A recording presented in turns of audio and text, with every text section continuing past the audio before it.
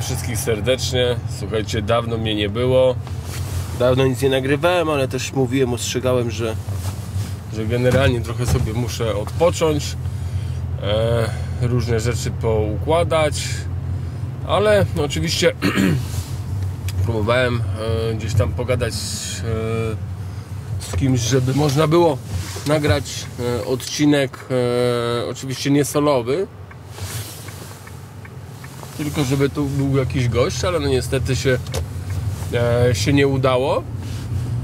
Kilka rzeczy, o których chciałem powiedzieć, to e, przede wszystkim no, rozpoczęliśmy okres przygotowawczy. E, niedługo, no, niebawem czeka nas wyjazd do Turcji. Wiele osób mówiło, że ten wyjazd do Turcji e, jest. E, włączę tą lampkę, bo jest jeszcze na tyle ciemno rano, że nic nie widać. Że ten wyjazd do Turcji jest e, niepotrzebny, no to nam aura jakby zgotowała od początku e, przygotowań pokazała, że jednak e, wyjazd do Turcji jest potrzebny, bo problem u nas z boiskami, to już nawet nie o to chodzi, że, że ten śnieg padał, ale oczywiście również, że śnieg padał, bo generalnie wszyscy trenują na sztucznych boiskach, nie mamy podgrzewanych muraw treningowych. W związku z czym e, my potrzebujemy takiego wyjazdu jak, e, jak do Turcji, który tak naprawdę nie będzie droższy od, od wyjazdu w Polsce i obozu w Polsce w jakikolwiek sposób. Osobiście ubolewam nad tym, że to jest wyjazd tygodniowy, a nie dwutygodniowy, jaki być powinien po to, żeby się przystosować do, e, do grania na normalnych, na normalnych boiskach. Był sparring pierwszy z Elaną Toruń. Mm, oceniany, no oceniany, oceniany był e, oczywiście fatalnie. Moim zdaniem ten sparring zakończył się bardzo dużym sukcesem, bo żaden z chłopaków e, nie złapał kontuzji. I w, ty, w tym aspekcie raczej rozpatrywałbym ten e, sparring. Trenerzy obu zespołów chcieli pograć, myślę, że chcieli po prostu wybiegać, żeby po prostu popracować kondycyjnie na tle po prostu jakiegokolwiek przeciwnika, po prostu zwykłego grania. Inaczej bym tego nie rozpatrywał, chociażby sam fakt zwrotu zawodnika jakiegokolwiek jakikolwiek zwrot e, w 180 stopni podczas tej gry był, trwał mniej więcej 6-7 razy tyle, ile przy normalnych warunkach. Więc w piłkę tam się po prostu grać nie dało. Elana wykorzystała proste środki, kopała zawsze w tą stronę, gdzie biegł ich, ich zawodnik, w związku z czym e, no ładno generalnie bronili się, wykopywali, wygrali zasłużenie. Oczywiście żadnych wniosków z tego meczu absolutnie nie wyciągałem i no, nie miałem w zasadzie zamiaru. Dziwię się, że ludzie wyciągali jakiekolwiek wnioski z, takiego, z takiej gry. E, dalej idąc, e, przede wszystkim tak, transfer e, Pawła Tomczyka ja zdecydowanie, jeżeli chodzi o Pawła Tomczyka, e, to zdecydowanie byłem za tym transferem, ale z jednym oczywiście ale, że jeżeli my to finansowo robimy ponad stan e, i, stawiając na szali gdzieś e, wszystko, biorąc pod uwagę, że my mamy awansować, to chyba się ktoś z głupim na łby pozamieniał, jeżeli oczywiście tak jest bo tego absolutnie nie wiem, bo tam przecieki tam różnych, z różnych miejsc, że finansowo po prostu, jeżeli my nie awansujemy, to, e, to będzie dramat. To jeżeli ktoś tak stawia sytuację i, i, i wydaje ponad stan kasę, na przykład na Pawła Tomczyka, e, i awans, awans musi być, to jest, chyba się z głupim na głowy pozamieniał. A jeżeli to jest zwykła plota, no to bardziej wydaje mi się prawdopodobne, oczywiście nie wiem to jak najbardziej sportowo. E, transfer Pawła Tomczyka dla mnie to jest petarda. E, pamiętam jak wchodził do. Pamiętam jak wchodził do, do Lecha.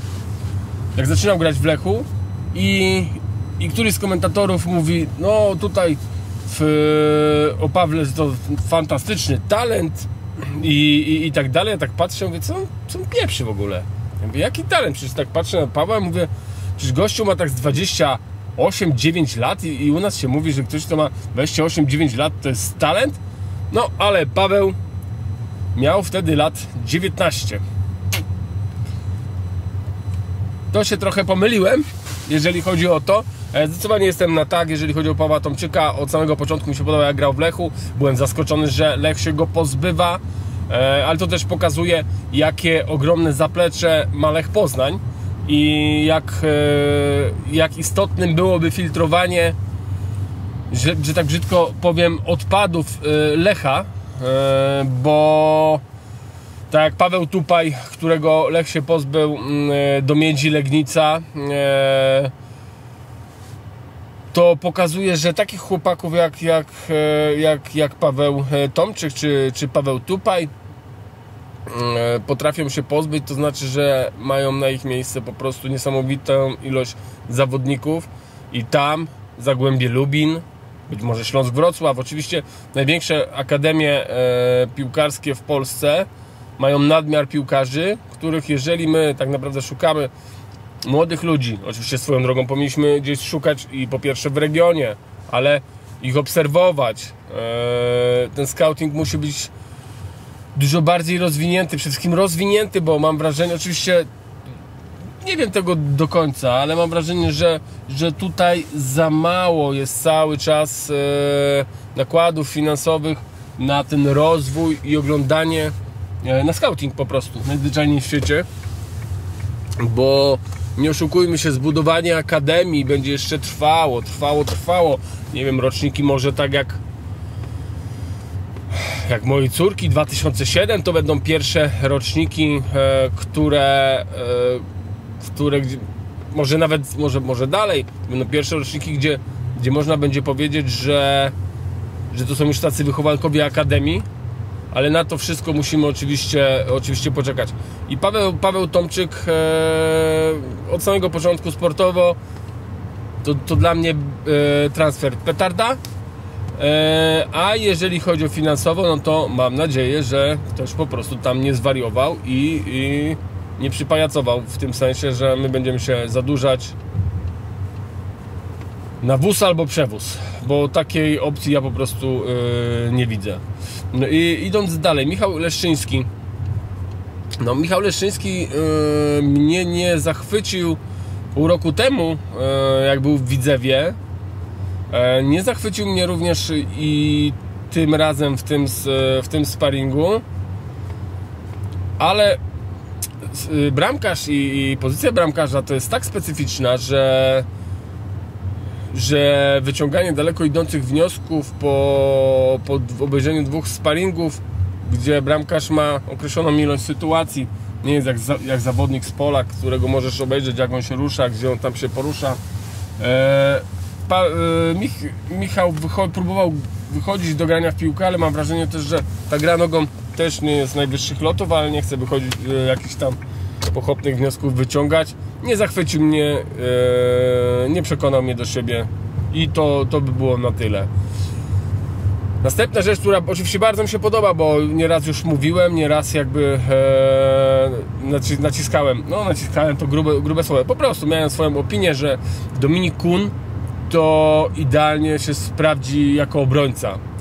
E, cały czas oczywiście to podtrzymuję. Wreszcie Dominik Kun zagrał na, na prawej obronie E, myślę, że on, on sobie po prostu poradzi. Ja się po prostu o niego nie martwię, że on sobie nie poradzi. Jeszcze nie jeden błąd oczywiście Dominik Kun zrobi. No i nie oszukujmy się, e, Pogoń Grodzisk Mazowiecki to jest to poziom e, no nie jest to poziom naszej ligi, tak? I oczywiście bardzo cieszy druga połowa, bo w pierwszej mam wrażenie, że każdy kto grał to jakby trenował dwa razy ciężej niż, niż inni, jak w ogóle nie, nie udźwignął. Eee, no ale też pamiętam jak to było, jak grałem, że ci, co zawsze grają w tej takiej słabszej 11, trochę są tak, tak wsadzeni na konia i, i czasem to jest wyciąganie pochopnych wniosków, ale oczywiście ta pierwsza połowa była była, było widać po prostu bezradność, było widać brak wiary, było widać brak koncepcji tak naprawdę e, w graniu i każdy, kto grał w pierwszej połowie niestety wypadł e, bardzo blado.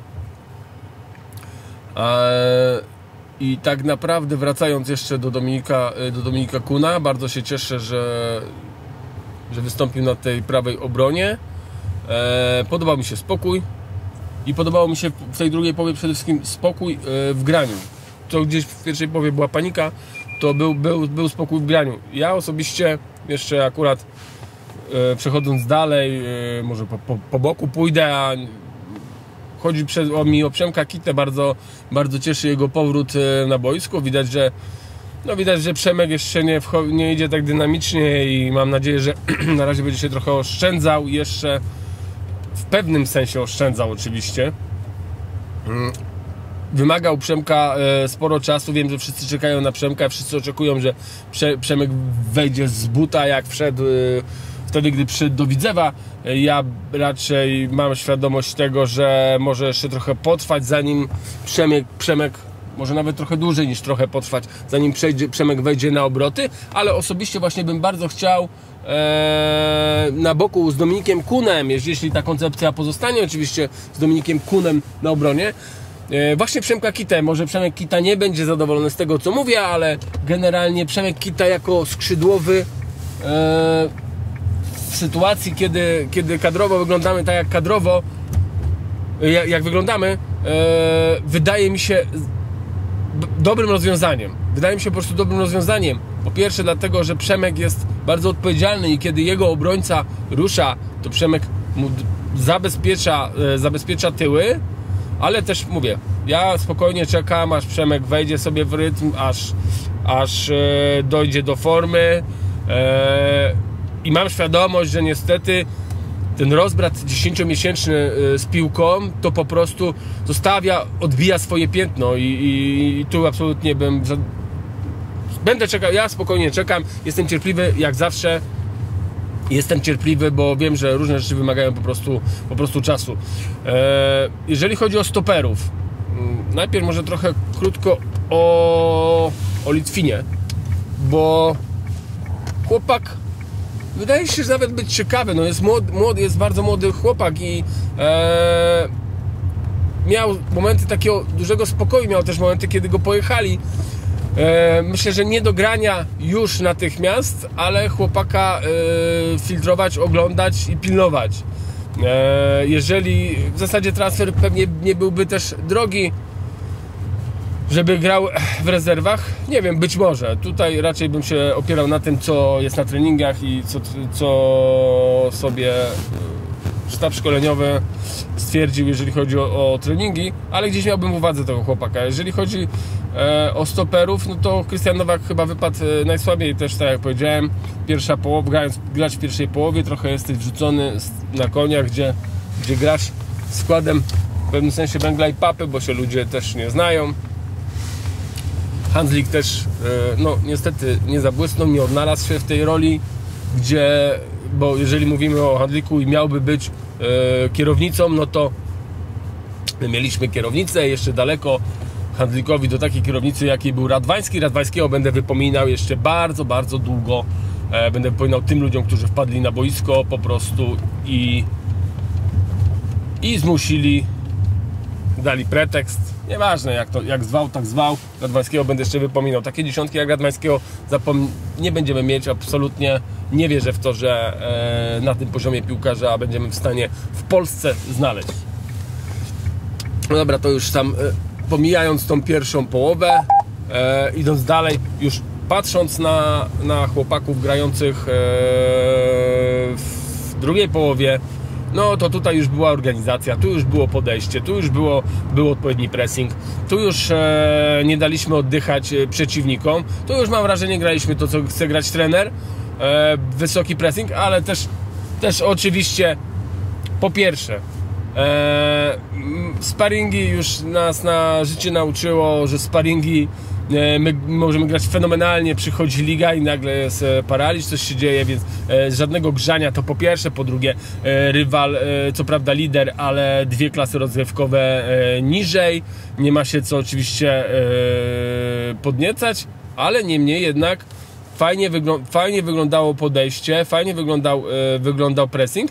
I na przykład na Twitterze ktoś już napisał, że my tam już w napadzie to my, my jesteśmy tam super mocni, mamy czterech napastników, teraz to yy, będziemy bardzo mocni. Już tak było nieraz, że gdzieś mieliśmy być mocni bardzo.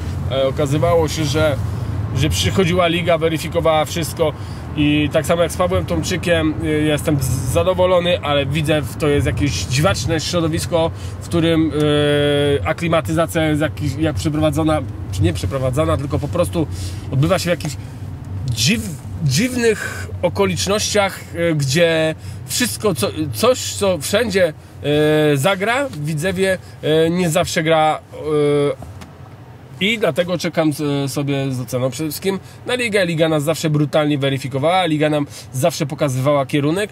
E, liga, liga nas e, strafowała po prostu. E, więc tak jak mówiłem, Przemka Kitę chętnie bym zobaczył e, na, na skrzydle mimo wszystko. I życzę oczywiście e, Pawłowi Tomczykowi e, dobrego wejścia i, i tej szybko, szybkości to on ma oczywiście, ale takiego właśnie spontanicznego strzelania, jak, jak może to nie było spontaniczne, ale to co strzelił w słupek. E, no i oczywiście to jak grał przy bramce godne uwagi. Tak samo Karol Czubak w swoim stylu oczywiście zawinął, zawinął chłopaka, tamten poszedł na raz i strzelił, strzelił bramkę. Zobaczymy kto będzie grał. Ja oczywiście mam swoje typy, mam swoich faworytów, nie będę o tym mówił, bo ci, co tam oglądają, to się pewnie domyślają, kogo ja bym chciał w ataku. To przechodząc, stoperzy oczywiście zagrali, e, Michał, Michał Grudniewski to jest y, dla mnie osobiście stoper numer jeden. Ja wiem, że był stoperem numer 3, ale dla mnie osobiście jest stoperem numer jeden. Może nie ma fajerwerku przy wyprowadzeniu, yy, wyprowadzeniu piłki, ale on jest takim właśnie chłopakiem, który robi to, co umie. Nie próbuje kombinować i robi to, czego nie umie, a jeżeli chodzi o dynamikę, szybkość e, i skuteczność e, w grze defensywnej, jest po prostu skuteczny. Dla mnie jest, e, dla mnie jest stoperem numer, numer jeden. Jeżeli chodzi o, o Patryka Stępińskiego, środowisko kibiców Patryka Stępińskiego wydaje mi się w dużej większości skreśla. Ja absolutnie Patryka nie, nie, nie, nie skreślam, no bo wydaje mi się w ogóle, że będzie e, takim jednym z pewniejszych ludzi e, w zespole, po prostu w zespole. E, I jeszcze jedna sprawa, no Patryk Stępiński wykonujący stałe fragmenty gry, lewa noga, prawa noga. Mm, też no poczekam oczywiście, jak okazało się, że możemy strzelić ze stałego fragmentu gry, ale po raz kolejny, przypominam, to był zespół dwie klasy rozgrywkowe niżej, mimo że oczywiście z drugiej połowy jestem zadowolony, ale sparingi nie mają niż większego znaczenia. Sparingi mają moim zdaniem takie znaczenie, że tylko na pierwsze kolejki kto będzie grał, to ma być dla trenera, kto będzie grał, a później okazuje się, że w czwartej kolejce już połowa składu jest inna. Bardzo często zresztą, albo może trochę później, ale wywraca się wszystko do góry nogami, bo liga wszystko weryfikuje. Nie rozumiem takich komentarzy, które się pojawiały wcześniej, a propos młodych zawodników, tak jak Michaela, e, tak jak Prochownika, że trzeba, się, że trzeba się tych ludzi pozbyć. Wypożyczyć na przykład, tak jak w przypadku Marcela Pięczka, chociaż nie rozumiem tego e, prawa pierwokupu, bo ja osobiście nie wierzę, że Marcel, e, że go opuszcza, nie, nie kupi. To bardzo możliwe, że się właśnie pozbyliśmy Marcela Pięczka. Wypożyczać tak, pozbywać nie. I, I wracając do Michaela, wracając do Prochownika, Michael, yy, ja wiem jakie były zarzuty, też miałem zarzuty takie same do Michaela, zanim odchodził do Bytowi, że no niby, niby umiejętności ma, ale nic z tego nie wynika, ale Mike, Michael staje się coraz bardziej przebojowy. Na młodych ludzi trzeba czekać, trzeba cierpliwie czekać. Są młodzi ludzie, oni potrzebują po pierwsze ogrania, po drugie obycia z, z pierwszym zespołem, po, potrzebują czasu, bo są młodzi, po prostu się rozwijają. Jaki, pokażcie mi zawodnika, który na przykład, w ogóle, gdzie był lewy w wieku Michaela na przykład? I proste pytania, prosta odpowiedź. Musimy światełko, mam nadzieję, że już światło jest trochę lepsze. E, po prostu dajmy się młodym ludziom rozwijać. Tak samo w kwestii prochownika, jeżeli on ma nie grać i ma być wypożyczony, niech będzie wypożyczony, ale wydaje mi się, że jednak jest szykowany do tego, by, e, by, by grać. Środek pola, my dziesiątką, jeżeli mamy grać, słusznie zau, za, zauważył Kajmada, słusznie zauważył Kamil, że e, skoro my mamy grać z dwoma napastnikami, to my dziesiątką grać nie będziemy, tylko ósemką. E, podobno szukamy niezłej ósemki. Dla mnie wyznacznikiem jest Radwański. Jeżeli będzie lepszy od Radwańskiego, to to będzie gigantyczny sukces. Osobiście nie wierzę. E, no to tak naprawdę, e, e co by tu jeszcze powiedzieć? O, dźwięk mi spadł. Tak naprawdę nie będę chyba przedłużał, bo, bo jeżeli chodzi o grę, bo tak naprawdę wyciąganie jakichkolwiek wniosków na tym etapie, gdzie. Mm, a nie, jeszcze powiem coś. E, gdzie tak naprawdę mamy okres przygotowawczy i w tym okresie, no to chyba już to jest chyba tradycją, w zasadzie zasadą. Nie wiem, trochę się zmieniło, odkąd ja grałem e, obozy przygotowawcze i ten okres był, był dla mnie zawsze ciężki tyłem. Po, po schodach trzeba było chodzić i tak dalej, i tak dalej. Miałem trenerów też bardzo e, wielu, miałem takich, co to byli znani z tego, że, że bardzo ciężko się trenowało. Więc dla, dla niektórych ludzi jest to po prostu o, trudny okres i było widać, no, szczególnie w pierwszej połowie, że ludzie się ruszali jak muchy w smole. I teraz idąc do, yy, do Merveya, to widać, że Mervey nam bardzo, bardzo zgas, przygasa, przygasa, przygasa. E, tak jak na początku czarował swoim optymizmem w grze, tą swoją finezją, e, tym fajnym podejściem, tym, tym nieszablonowym roz, rozwiązaniem czarował nas, tak, e, no od pewnego momentu zaczął ga, gasnąć, gasnąć, gasnąć i tak przygas, przygas bardzo dobrze, bardzo mocno. I co do niego, to teraz tak, Najpierw była mowa e, że jest podpisany kontrakt na 3 lata z Merbejem. Później Krzysztof Stanowski gdzieś tam na Twitterze między wierszami dał do zrozumienia, że kontrakt został podpisany na, e, na rok. Moim zdaniem, jak powiem, co ja bym zrobił, to jest idealny moment, to po, po tym pół roku, by teraz, kiedy Merwej jakby osłabł, po, e, pokazał, że ma słabe strony, że, że musi jakby dojść do siebie, to jest taki moment, kiedy powinno się usiąść bo Krzysztof Stanowski, jeżeli to jest prawda oczywiście, on mówi, że Merweja za darmo na 3 lata by oddał. Kwestia płacenia pensji Merweja, nie sądzę, żeby on był drogim zawodnikiem, to po pierwsze. Usiąść teraz, mając te, tego asa w rękawie, że Merwej jest słabszej yy, dyspozycji, dogadać się wreszcie na te 3 lata pełne. Dogadać się, bo i czekać na chłopaka, roz, yy, uczyć go yy, taktyki, uczyć go zachowań boiskowych, pracować nad jego siłą, nad szybkością, na ile się da. Wiadomo, że szybkości, szybkości się cudów yy, nie da zrobić, ale wystarczy poprawić mu te parametry o 5-10% siły, szybkości. Eee, chłopak przy stabilizacji w jednym klubie, tej pewności, akceptacji zespołu i tak dalej, wiadomo, że ma, teraz ma ten słabszy okres, ale on się odbije. To to jest kwestia czasu, nie wiadomo jak długiego czasu, ale trzeba na chłopaka poczekać, bo to jest dzieciak po pierwsze. Po drugie, on w życiu jak grał, jak, e, jak w tej Kiszasie e, grał, no nie oszukujmy się, tam żadnego profesjonalizmu, taktyki, to była gra podwórkowa, on po prostu wymaga czasu, ale dogadajmy kwestię Merveja, niech on będzie faktycznie u nas 3 lata, niech łapie minuty, a tak naprawdę jakiś jeden impuls, e, nie wiem, kibice na trybunach, e, jakieś jedno udane zagranie i chłopak się odwróci, odkręci. Jego potencjał ma ogromny. I każdy z nas widział ten potencjał, więc e, załatwmy kwestię Merveja na 3 lata.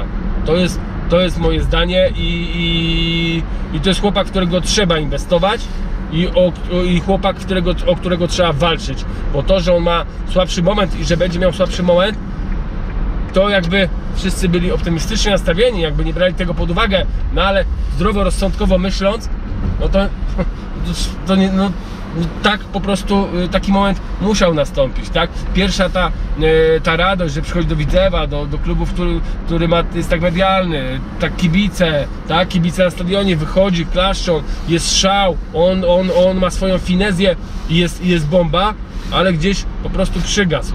Przygasł w pewnym momencie i, i my musimy zadbać o to, żeby on z powrotem się odnalazł i musimy zadbać o to, że jak on się odnajdzie, żeby już go nie, nie, zabie, nie zabierano stąd. To jest moim zdaniem bardzo, bardzo istotna rzecz. Nie wiem jak dalej będzie wyglądała kwestia transferowa. Słyszałem, że rozmawiamy z jakimiś bardzo poważnymi e, zawodnikami. Ja powiem tak. Jak, e, jak mamy robić coś ponad stan? Wydawać więcej niż możemy? Nie, nie, absolutnie kategoryczne nie. Jeżeli nas e, stać, chociaż uważam, że powinniśmy sobie zabezpieczyć finansowo się, chociażby na wypadek, gdyby karnety e, wszystkie nie zostały sprzedane. Ale, ale tak naprawdę widzę w tej chwili to, co się ludziom podoba, to, co e, to co widać ewidentnie, komunikację klubu e, z kibicami, to co widać na Twitterze. Ja śledzę Twittera, nie wchodzę na Facebooka, więc yy, ja po prostu nie zaglądam na Facebooka, nie piszcie mi na, na, na fejsie, bo ja znaczy na Messengerze ok, ale ja na Facebooka nie zaglądam, nie miejcie mi tego za, za złe, ja po prostu nienawidzę już Facebooka i bym go po prostu najchętniej usunął, ale, ale kwestia Messengera. E, że komunikacja e, między klubem a kibicem się bardzo, bardzo, ale to bardzo poprawiła. I bardzo fajnie, ale jak będziemy robić też takie akcje, jak przy okazji e, ostatnich e, testów, które, no być może, nie wiem, Tomasz Wichniarek e, o, Tomasz Wichniarek twierdzi, że oglądał tych chłopaków, chciałby ich zobaczyć w treningu. Ja nie widzę w tym nic złego, żeby oni potrenowali dwa dni, zagrali sparring w, w rytmie, w którym my mamy e, w zasadzie przez niecały tydzień cztery mecze. Bo to jest, są te cztery mecze, żeby sobie potestować chłopaków, ludzi, którzy gdzieś tam, e, dobra, nie sprawdzili się, nie sprawdzili, może i było pewne, że się nie sprawdzą, nie wiadomo, ale sprawdzisz. Sprawdzisz człowieka, nic ci się nie stanie, że go sprawdziłeś. Nie wiem o co ta cała awantura. Jak my będziemy tak po prostu robić e, awanturę z byle powodu, bo moim zdaniem to był byle powód. Owszem, tak wyszło na wasze, że to byli słabi, e, słabi zawodnicy, ale chyba się nic nie stało, że dwa dni potrenowali jeden je, i zagrali po kilka minut sparingu koniec. No nie róbmy awantur po prostu z czegoś, czego, nie róbmy problemów, z czego po prostu problemem nie jest. Klub zachował się super nie, ze składami i, i, z tymi kebabami i, i, z tym wszystkim po prostu podszedł do tego humorystycznie. E, I bardzo fajnie podszedł, bo uważam, że my jako kibice też trochę zatraciliśmy humoru swoją, swoją drogą. Jak patrzę na komentarze, to niektóre rzeczy tak błahe ludzie traktują no, tak bardzo poważnie i, i, i po prostu tak. I jak małe dzieci, jak piaskownicy czasem, naprawdę, bez. No dobra, słuchajcie, e, krótko, e, krótko, bo no bo krótko, nie ma co dzisiaj mówić e, więcej, więcej rzeczy. Na pewno zapomniałem o czymś e, bardzo ważnym. Pozdrawiam Krecika, który, e, który przeszedł operację wczoraj.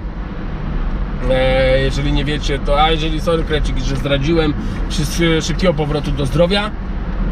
E, pozdrawiam oczywiście całą e, społeczność. Jeszcze jedna rzecz, no oczywiście już zapomniałem. E, odbyło się w tamtym tygodniu spotkanie Twitterowiczów, widzewskich Twitterowiczów. Uczestniczyłem w tym spotkaniu i co wyniosłem z tego, z tego spotkania? No przede wszystkim poznałem dużo no, nowych, fajnych znajomych. Co jeszcze wyniosłem? Wyniosłem plecak Kreda i słuchajcie, bo miał podobny plecak do mojego i nie to, że wziąłem jego, a swój zostawiłem. Nie. Jego wpakowałem w swój. Zabrałem mu kluczyki od auta. Szczęście kredu się e, poświęcił. Przyjechał do mnie po te kluczyki, ale to ja powinienem jechać e, do niego, oddać mu, e, oddać mu ten plecak. Spotkanie było bombowe. E, dużo ważnych taktyk e, tam e, zastosowaliśmy różne rozwiązania, sobie komentowaliśmy i pozdrawiam wszystkich uczestników tamtego spotkania.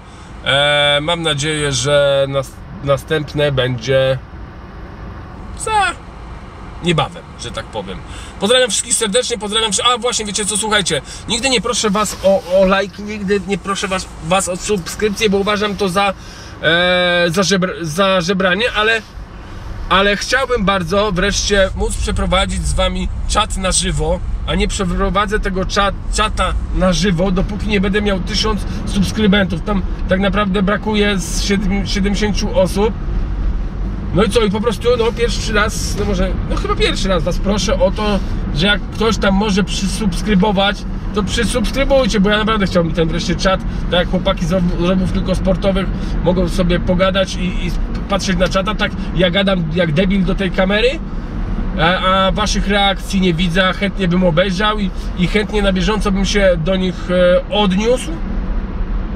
Do każdych, do każdych tak naprawdę, bo wiem też, że e, jakby są osoby, które lubią mi szpileczki wbijać, e, a ja jestem, mam spory dystans do siebie, e, radzę sobie też ze szpileczkami, więc, więc e, no da, e, pomóżcie, no pomóżcie mi trochę, no. Dobra, pozdrawiam wszystkich serdecznie. E, Ja jestem oczywiście jak zwykle dobrej myśli. E, Ktoś mnie. A, propos dobrej myśli, jeszcze powiem wam taką rzecz, że ktoś mnie mówi: Ty jesteś niepoważny, ty cały czas podchodzisz do sprawy optymistycznie. I co? I później się zawiedziesz. O, pff, oczywiście, ja się później zawiodę, na przykład, jak ktoś nie pójdzie i będę tydzień bardzo smutny. A wy jesteście smutni przez cały rok. Bo zawsze mówicie, że będzie źle. I zawsze podchodzicie pe- pesymistycznie. I uważacie, że to fajniejsze niż bycie takim idiotą, optymistą jak ja? A wolę być optymistą. Pozdrawiam wszystkich serdecznie, trzymajcie się, na razie.